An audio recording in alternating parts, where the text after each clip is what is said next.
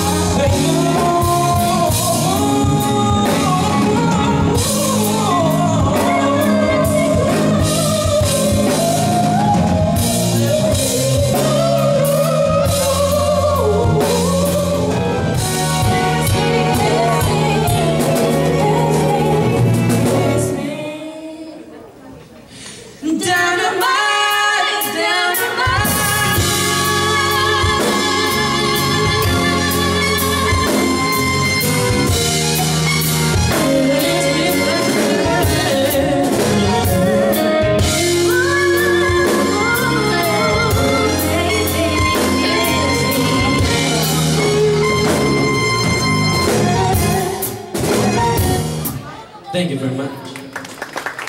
That is called uh, Kiss Never Let Me Go. So you can uh, uh, listen to it on Spotify.